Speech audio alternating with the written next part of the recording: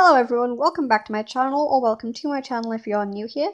In today's video, I'm going to be showing you how to use the cut feature in Ibis Paint.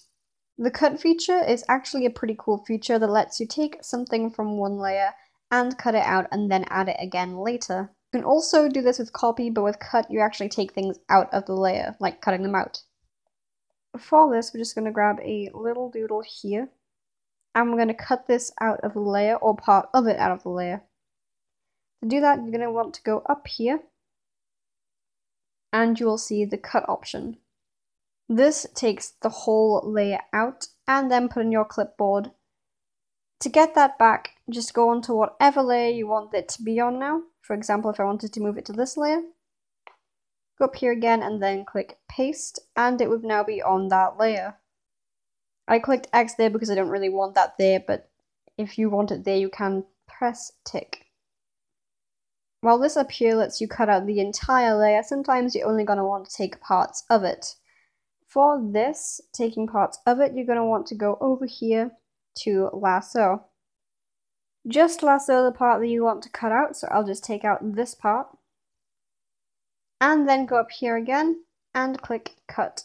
It will only take what you've selected in there. Then you can remove the selection area by pressing this and you can paste it right back in again and move it around as you want.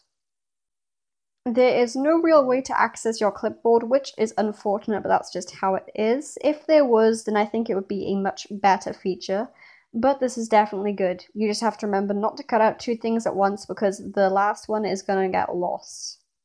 You can cut out as little or as much as you want, it really doesn't matter, but it is super duper useful in my opinion.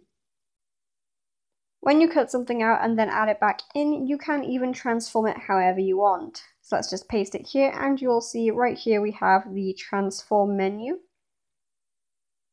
And you can just move it and fiddle with the pasted part as much as you want, which I think is super duper useful.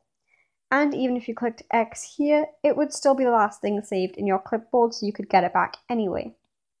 That is how you use the cut feature in Ibis Paint. I hope that you found this helpful, and if you did, maybe consider supporting. Thanks for watching, bye!